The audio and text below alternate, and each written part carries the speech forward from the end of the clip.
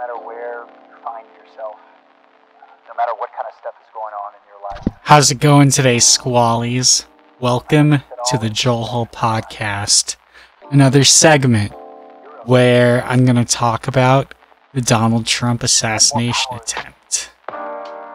Alright, so do I think that it's fake or staged like, you know, these drunk idiots seem to believe? No. Um, I think there's some legitimacy behind all of the event, but I do see that a lot of people are criticizing the way the Secret Services responded to it.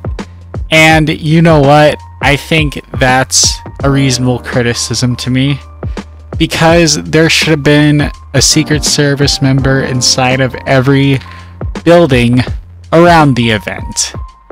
And, you know, a couple of things about it seem fishy. Uh,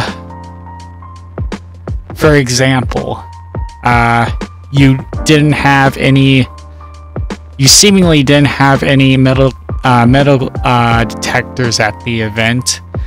And, you know, the shooter did never enter the event in the first place, so you have an issue there. But, you know, if they really wanted to make future Trump rallies safer, uh, there needs to be more heightened security. And, you know, uh, yeah, that's about it for that, I think. But it's a shame that a former president was unnecessarily injured. And, you know, um, I'm still thinking about voting for him uh, come election time uh, because I don't want to see Joe Biden in the Oval Office anymore. Um, and I'm sorry if that disappoints any Democratic squallies out there but you know, it is what it is at the end of the day.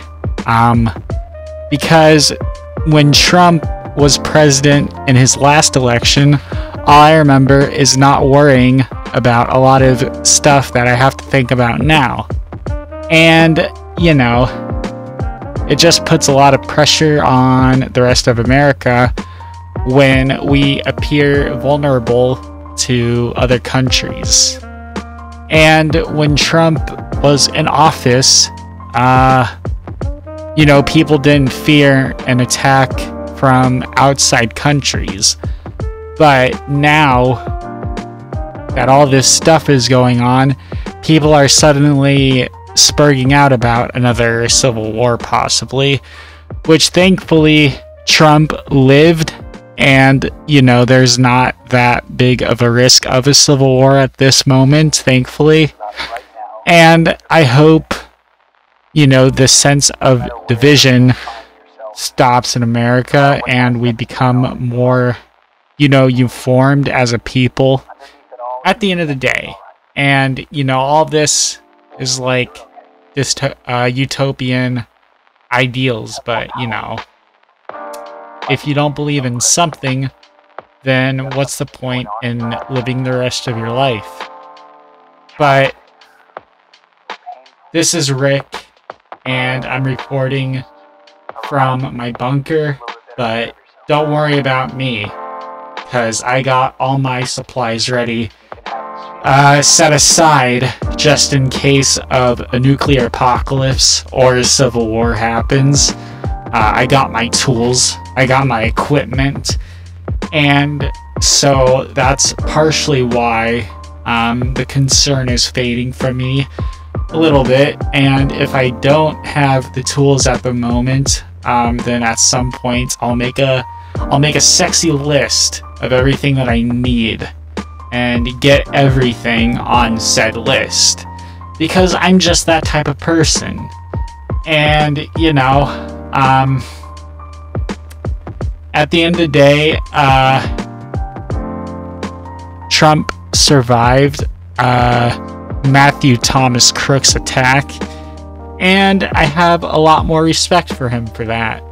And, you know, I wouldn't be surprised if the average American felt that way at this moment, but it's a shame and I find it disgusting that, you know, these Democrats and liberals think, think that it's a staged or faked event.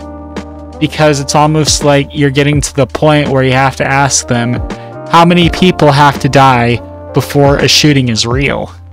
And that's tragic for America.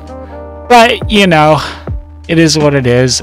And you squallies have a wonderful rest of your day.